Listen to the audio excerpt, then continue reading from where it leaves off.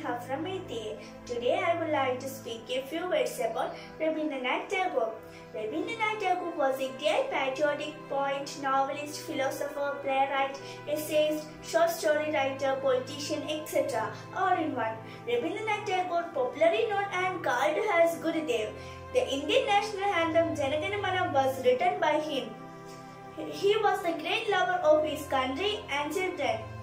Rabindranath Tagore was born on 7th May 1861 in Jorasanko in Calcutta. His father's name was Rabindranath Tagore and his mother's name was Sarada Devi. He was the 14th child of his parents. Rabindranath Tagore took his education at home under private teachers for various subjects. He went to England to study but he returned there without completing the studies. He started writing from his early age. Rabindranath Tagore became the first Indian to Nobel Prize in 1930 for the great writing of Gitanjali. He and his works are famous all around the world.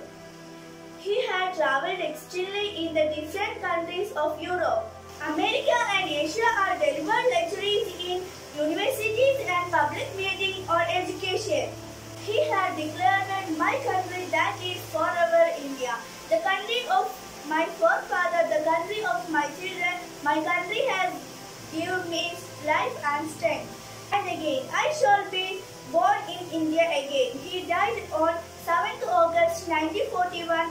He was mainly interested in two things, the human relationship and the motherland. Thank you.